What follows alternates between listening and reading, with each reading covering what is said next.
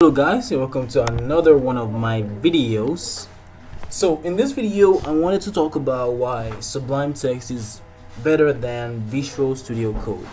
Now i know some people are gonna be mad at this video um, but you just have to understand that this is my opinion and everybody's allowed to have their own opinions. So in this video i wanted to tell you about why i think sublime text is much much better for me personally than visual studio code all right first of all first of all startup time. When i turn on my laptop or computer i always like to just you know click on what I, um, the editor i want to use launch it and you know start coding away. So when you talk about startup time i'm just going to be enumerating this uh, startup time all right so startup time. So like i said this is a very important point for me. So i noticed that when i launch sublime text it just launches all right it doesn't take time it doesn't load it doesn't do anything it just launches and i'm ready to start coding or writing whatever it is i want to write. Okay? Now visual studio code on the other end actually takes a really really long time to start up my uh, the editor you know you know and then initialize the plugins and a bunch of other things like that.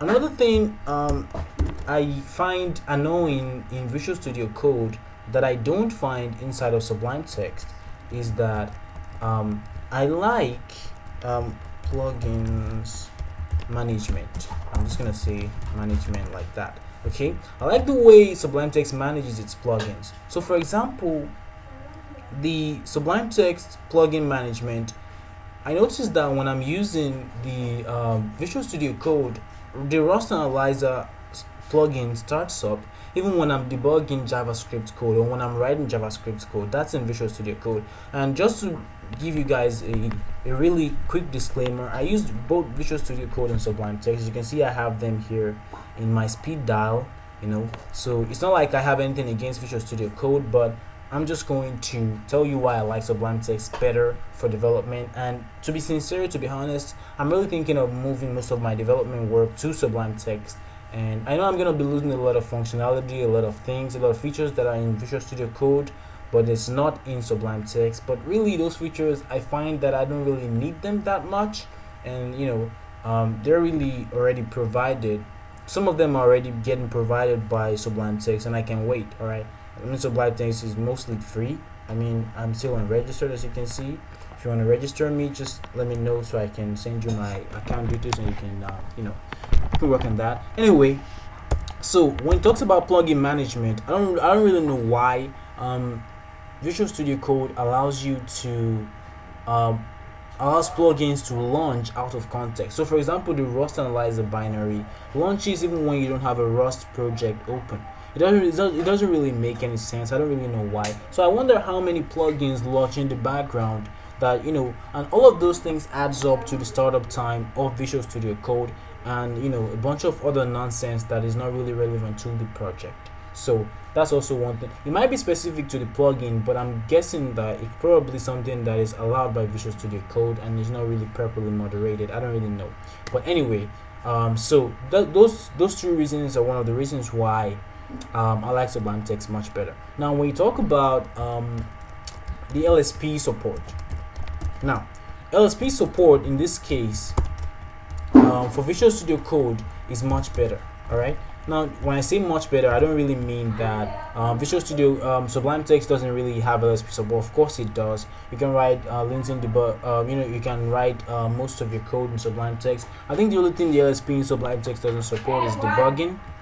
So that's probably one of the things that is lacking in. Um, but I find that that feature is not really something I use a lot because most of the time when I want to debug, you know, um, I think I only ever use Visual Studio Code for debugging when I have um, when I'm using something like um, you know Flutter that's the only time I use I debug in Visual Studio Code. And even in Flutter I don't really debug a lot like that. So I can actually do without debugging inside of Visual Studio Code for Sublime instead of Sublime Text and I can still work. I can debug in um, you know terminal for uh, Flutter so that also still works.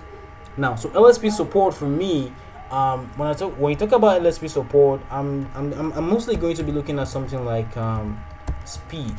All right, So for speed, I think Sublime Text is much better. All right, Sublime Text is much better in terms of speed, which means you know when you want to um, do stuff, when you want to um, how am I gonna put this? Um, so when you start up your editor and you want to start coding, you want to start getting code completion and a bunch of other things like that, and you don't have to wait for the plugins to initialize the language servers to you know put things together and before they start working. Um, I find that Sublime Text is extremely fast in that regard. You know, everything just gets started up and I'm ready to go. Right, so maybe the full LSP support might be in Visual Studio Code, but I find that there's some of those uh, features that I don't really need and just wastes a lot of my time. All right, now when we talk about plugins in general, of course, Sublime Text is, is got way more, more better and much more advanced plugins for uh, uh, in terms of development. All right, but when you talk about Rust, now the interesting thing about this is that Rust Analyzer, I think is a plugin that was made for Visual Studio Code, and it was a, it, I think it was as a result of that the Rust Analyzer project came out. But the interesting thing is that the Rust support in Sublime Text is much much better than the Rust support inside of Visual Studio Code, and I'm I'm really serious about this. Okay, I mean. I've used Visual Studio Code for uh, writing code that is written in Rust, and uh, I'm writing Rust code.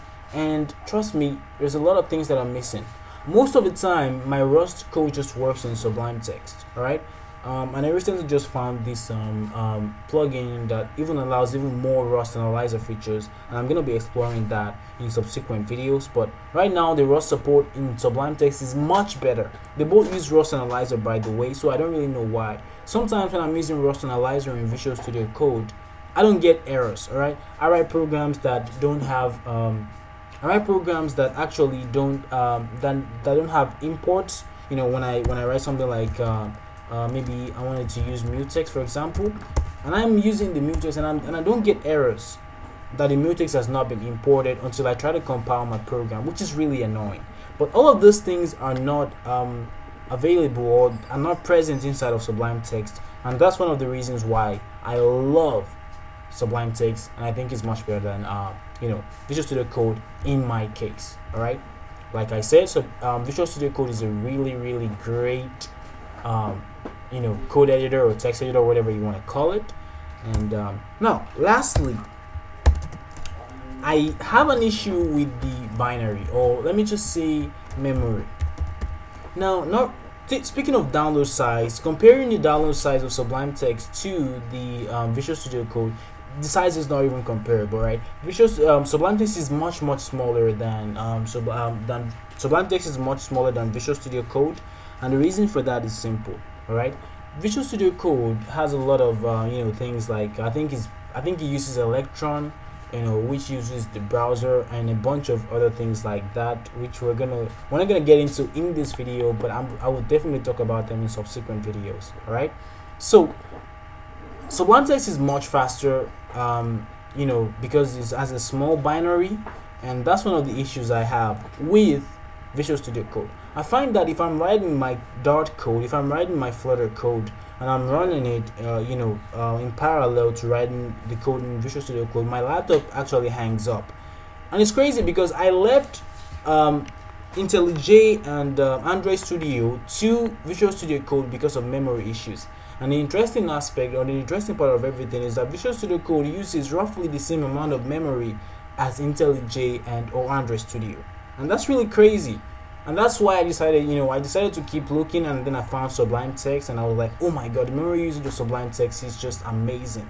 I think Sublime Text using the least amount of memory is one of the biggest advantages of Sublime Text over um, Visual Studio Code. Because sometimes you might be writing a program that uses a lot of memory, that's CPU intensive or whatever, and you don't really want a text editor or an IDE that is using roughly the same amount of memory as your resource hungry program.